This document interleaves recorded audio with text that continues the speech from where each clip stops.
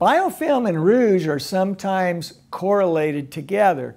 What happens is, as bacteria build up in a system, they begin to form biofilms or protective colonies that attach to the surface.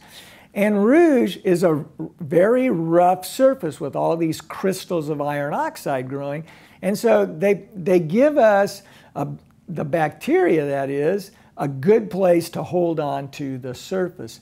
So oftentimes what we see is this association between rouge and biofilm.